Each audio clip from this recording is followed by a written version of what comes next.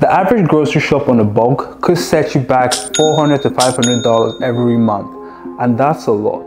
But what if I told you to break this down by 80%? You see, this brings your cost per meal to a dollar per meal simply by choosing the right food. I mean, why should you listen to me in the first place? Mainly because I've lived this. I went from 77 kg down to 107 kg. So, in this video, I'm gonna show you exactly how I was able to bulk but cheap.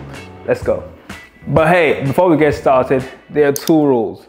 Rule number one, every single meal I'm gonna show you in this video will cost a dollar to make.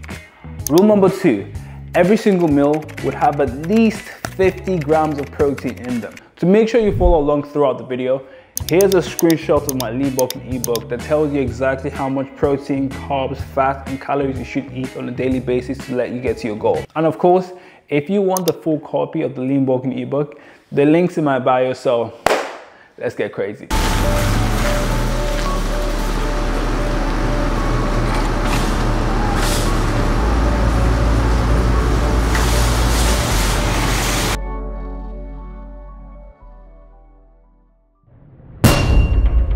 So we're gonna split this up into breakfast, lunch, and dinner. And I got options for each of these and a little protein snack at the end for you too. By the end of this video, you would know what I think the best protein source is to get your value for money and overall protein. And of course, the vegans are welcome here too, just to watch of course. So let's get into it. For the breakfast option 1, we need the following ingredients, eggs, sardines, and bread. Based off my portion size, we need 3 eggs, 1 sardine, 6 slices of bread, and the total protein for this meal is 52 grams of protein, coming to a total of $1.73.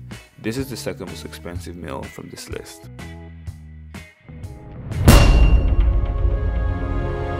Next is the second option for breakfast.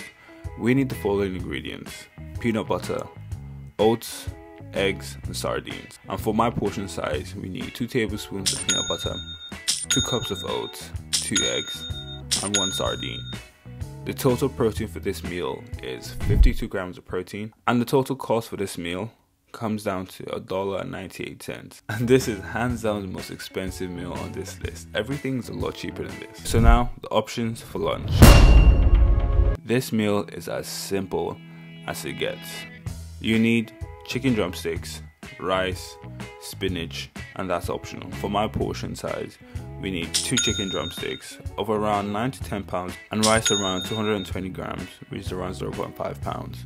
This brings the total protein for this meal to 65 grams of protein and a total cost of $1.20. And for the second option for lunch, we need 9 to 10 pounds of chicken thighs and around 4 ounces of pasta which is around 112 grams of pasta. And this brings the total protein to 59 grams for this meal and a total cost of a dollar and two cents.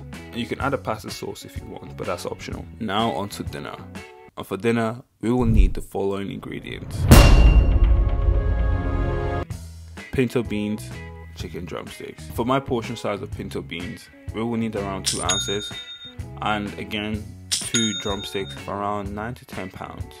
This brings the total protein to 60 grams and a total cost of 94 cents. For the second option for dinner, we need chicken drumsticks and pasta.